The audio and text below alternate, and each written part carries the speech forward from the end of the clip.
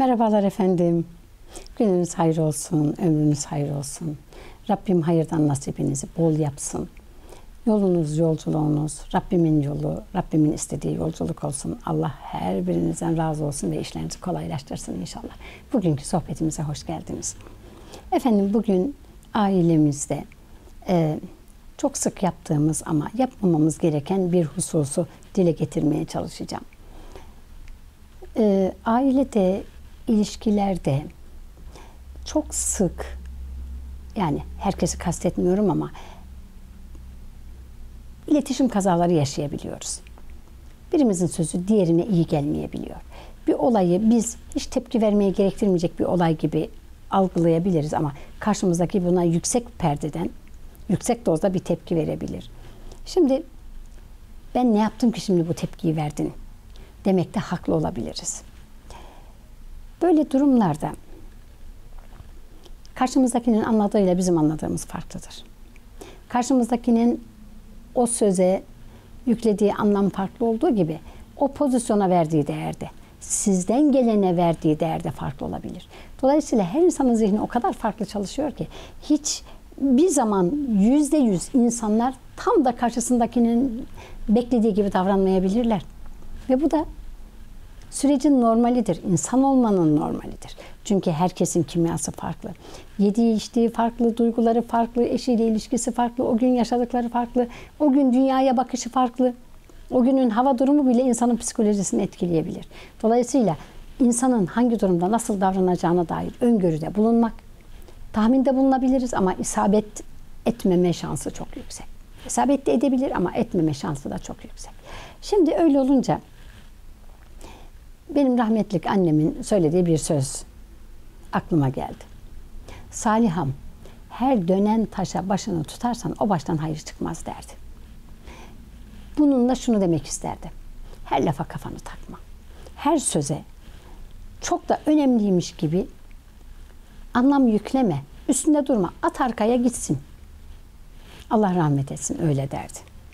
Bugün de anneciğimin ölüm yıl dönümü. Rabbim mekanlarını cennet etsin. Benim annem cümle geçmişlerimizle birlikte inanılmaz güzel bir insandı. İnanılmaz harika, mükemmel, veli gibi bir insandı. Rabbim okuma yazması bile olmayan, 3 aylık eğitimle işte telefonları yazmayı, isim soyadı yazmayı öğrenmiş, okur, yazar olmuş bir hanımefendiydi. Şu anda ben ona benzemeye çalışıyorum. Annem gibi olsam Allah'ım diyorum. Onun güzel ahlakından olsam diyorum. Rabbim bizim yavrularımıza da ben de annem gibi olmak istiyorum, annemin ahlakı gibi olmak istiyorum diyecekleri güzel bir yaşantı, güzel bir anlayış, güzel bir ahlak nasip etsin her birimize inşallah. Şimdi biz her lafa ben şimdi bunu hak ettim mi penceresinden bakıyoruz. Oysa olay benim tam da hak ettim mi sorusunu sormamı gerektirecek bir şey değil. Karşımızdaki farklı değerlendiriyor. Ben doğru yaptığımı düşünüyorum, o da doğru söylediğini düşünüyor. Dolayısıyla karşımızdakinin bize söylediği sözleri kişiselleştirmeyelim. İçimize atıp dert etmeyelim. Onu ya öfkeliyken söylemiştir. At gitsin diyelim. Eğer bir şey sürekli devamlı olmuyorsa o esnada olan bir şeyse ya morali bozuktur ondan at gitsin. O esnada canı sıkkın olmuştur. At gitsin. Üstünde durmaya at gitsin diyebiliriz. Şimdi biz evden dışarı çıkarken çantamıza gerekli olan malzemeleri koyarız. İşte benim kendime yardım etmek istiyorum isimli kitabımda bir yazı var. Çantamda gözlük, cüzdan, telefon varsa tamam yaz zihnimde. Bunlar olmadan dışarı çıkmıyorum. Gözlüğüme ihtiyacım var. Cüzdanıma ihtiyacım var. Para, e, ne dedim? Telefonuma ihtiyacım var. Bunlar olmasa ben dışarı çıktığımda sıkıntı yaşarım.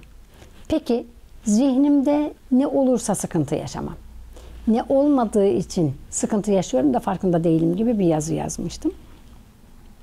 Şimdi çantamızda da lazım olacak eşyaları taşıyoruz. Oraya hiç lazım olmayacak çer çöp konulduğuna siz şahit oldunuz mu? Kirli peçeteleri çantamızda taşımıyoruz. Meyve yedik. Meyvenin artıklarını atılması gereken çöp kısımlarını çantamıza taşımıyoruz. Bir pet şişesini kullandık.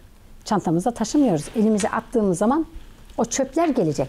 Bir süre sonra kokuşacak. Bir süre sonra bizi rahatsız edecek. Gereksiz yük olacak. Çöpün çantamda ne işi var? Peki işe yaramayan, o esnada öfkeyle söylenmiş, aslında gerçeği işaret etmeyen çöp mesabesindeki sözlerin zihnimde ne işi var? Çünkü o esnada şahıs büyük bir ihtimalle öfkeyle söylemiştir. O normalde sizin hakkınızda iyi hüsnü zan ediyorsa, sizin hakkınızda hep olumlu ve iyi düşünüyorsa, sizin kendinizi iyi hissetmenize yardımcı olacak şekilde davranıyorsa, e arada bu da insan, Rabbine kusur olanın kula kusur olmaz mı? Peygamberinin hayatını yeteri kadar hayatına geçirmeyip yanlışlar içinde boğuşan bizler kullara karşı yanlış yapmaz mıyız? O zaman her lafı içimize atmayalım. Eğer çok anlamlıysa, çok önemliyse ve bu kalıcı bir düşüncenin ürünüyse evet bunu ciddiye alalım. O esnada tepki vermeyebiliriz ki vermemeyi tavsiye ederim. Üzerinde biraz düşünelim, üstüne bir yatalım derler yani. Biraz bekletelim. Gerçekten benim anladığım kadar ağır ve konuşulmayı gerektiren bir durum mu bu? Bir de bakarsınız ki ya bu o kadar da hani üstünde oturum yapılacak derecede kale alınması gereken bir şey değil. Önemli değil. At onu dersiniz. Nasıl çer çöpü çantamızda biriktirmiyorsak bizi üzen ama o esnada öfkeyle söylenmiş sözleri de çöp kabul edin, atın gitsin. Kendinize ağırlık yapmaya gerek yok. Zihninize, gönlünüze ağırlık yapmayasına gerek yok. Bizler daha iyi yaşamak için varız. Daha doğru düşünmek için varız.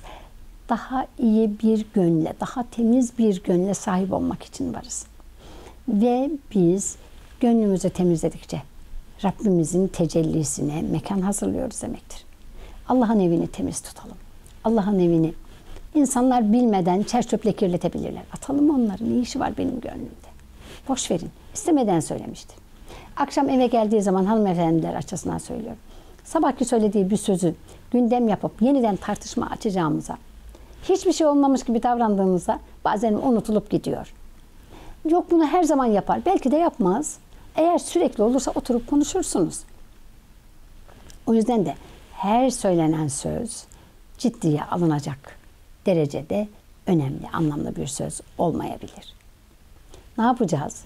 Öfkeyle söylenmiş sözleri at gitsin arkaya diyeceğiz ve zihnimize onu yük etmeyeceğiz. Allah'ın evini temiz tutacağız ki Allah'ımız tecelli edebilsin. Allah'ın evine sevgiyi ağırlıklı olarak dolduracağız. Ne kadar kişiyi seviyorsak Allah o kadar razı olacak. Ne kadar çok Allah'tan razıysak o kadar çok Allah e, bizden razı olacak. Ve bizim hayatımız daha dengede ve daha iyi gidecek. O zaman rahmetli annemin dediği gibi her dönen taşa başımızı tutmuyoruz. Her söylenen sözü kişiselleştirmiyoruz. Bana değil olaya söylenmiş sözü, yapılana söylenmiş sözü kişiliğimize söylenmiş gibi kabul edip buradan bir değersizlik çıkararak muhatabımızla aramızı açacak bir anlayış oluşturmaya gerek yok. O yüzden efendim biz aile içerisinde birilerinin gönlünü kirletecek çöp mesabesindeki söylemesek de olabilecek sözleri söylemeyelim. Biz birilerinin çöpünden kalbimizi temizleyelim ama biz de birilerinin kalbini kirletmeyelim. Biz de ağzımızdan güzel sözler çıkaralım. Bir çocuk bir şeyi döktüğünde, kırdığında bir davranış vardır. Yavrucuğum şöyle yaparsan iyi olur, canın sağ olsun deyip geçiştirebiliriz. Sakar dediğimiz zaman, beceriksiz dediğimiz zaman kişiliğine etiket yapıştırmış oluyoruz. Ama önemli değil, bu bir anlık bir davranıştır, anlık bir hadisedir. Canın sağ olsun her birimizin elinden kaza çıkar. Her birimizin elinden istemediğimiz hareketler çıkabilir, istemediğimiz şeyler yapabiliriz. İşte önemli değil. Sen iyi ol. Bir dahakine şöyle yaparsam bu eminim bir daha olmayacaktır. Daha dikkatli olursam bir daha olmayacaktır diyebiliriz. O yüzden de kendi kalbimizi temiz tutalım ama başkasının kalbini de temiz tutmaya özen gösterelim.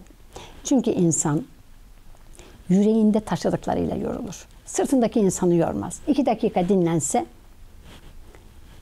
kendine gelir. Azıcık uyusa 10 dakika kestirse kendine gelir. Ama yüreğin ağırlıkları, bedenin ağırlığından çok daha fazla insanı yorar. O yüzden de yüreğimizde çerçöp, ağırlık hiç tutmayalım. Hiç biriktirmeyelim. Biz güzel ve sevgi dolu bir yürekle yaşamayı hak ediyoruz.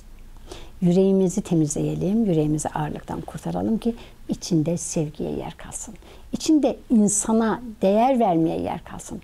İçinde Rabbimizi ağırlamaya yer kalsın. Allah'a emanet olun efendim. Hoşçakalın.